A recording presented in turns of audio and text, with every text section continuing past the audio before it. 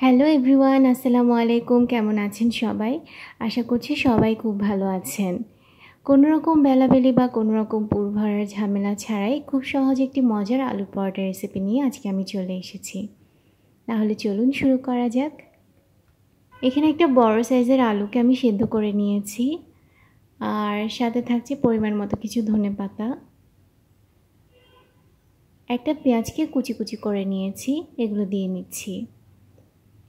চারটা শুকনো মরিচকে তেলে আমি গুঁড়ো করে নিয়েছি। এখানে এক টেবিল চামচের মতো আছে। মরিচের পরিমাণটা এখানে যে যেমনটা ঝাল খেতে পছন্দ করেন সেভাবে বাড়িয়ে বা কমিয়ে নেবেন। আর এখানে আমি স্বাদ মতো লবণ দিয়ে নিচ্ছি। দিয়ে নিচ্ছি তিন টেবিল চামচের মতো সরিষার তেল। ভালোভাবে মাখিয়ে নিচ্ছি সবগুলো একসাথে করে। আটা নিয়ে নিচ্ছি আমি এখানে এক কাপের মতো। তবে আপনারা চাইলে আটার পরিবর্তে ময়দাটাও ইউজ করতে পারেন। আর আলুটাকে আমি পুরোপুরি মিহি করিনি, কিছুটা আস্ত রাখার চেষ্টা করেছি। অল্প অল্প করে পানি দিয়ে মিশিয়ে নেব। আর এখানে প্রায় দেড় কাপের মতো পানি লেগেছে আমার।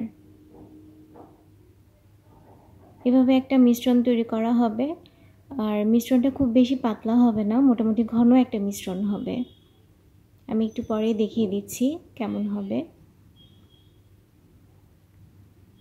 এই যে, দেখুন, এমনটাই হবে ঘনত্বটা।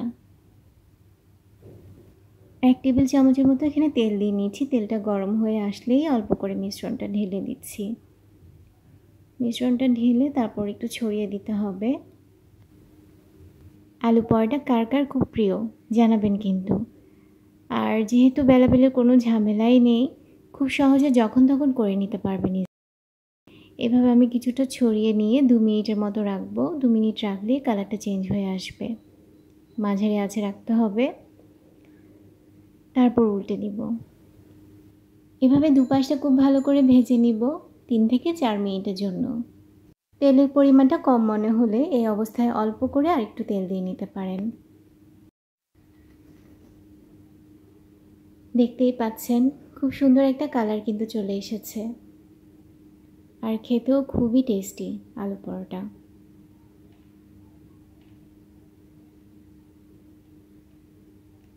আর আলুটা আস্ত রাখার কারণে হয় কি, আলুটা খাওয়ার সময় কিছুটা বোঝা যায়, তখন খেতে আরও বেশি ভালো লাগে।